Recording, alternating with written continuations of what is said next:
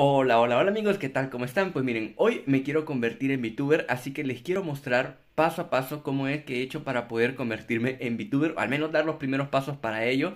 Eh, si tienen alguna duda pueden dejármelo acá en la parte de abajo de los comentarios, pero sin decir más, vamos a ello. Antes que nada tenemos que descargar este programa que se llama Beatube Mini. Es súper fácil de encontrar, nada más en cualquier buscador lo pueden descargar. Después de eso vamos a necesitar nuestro avatar con diferentes rostros, con diferentes posiciones de los ojos, de la boquita, ¿verdad? Para que la abra y la cierre.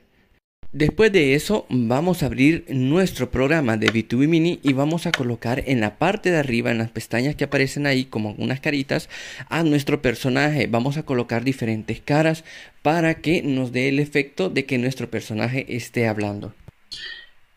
Y cuando hablo, pues también va a hablar lo que es mi personaje. Y así es como pues hacemos hablar a nuestro personaje de VTuber. Después de eso vamos a abrir nuestra aplicación de OBS Studio y vamos a hacer una captura de juego. En modo vamos a colocar como captura de ventana específica y en ventana vamos a tener que buscar donde está nuestro Beatube Mini.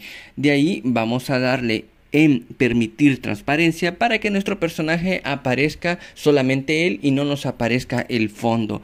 Si en dado caso vemos que no nos aparece nuestro personaje, podemos apretar, podemos seleccionar y deseleccionar el modo de captura SLI, que es un truco que a mí me funciona cuando a veces no aparece mi personaje.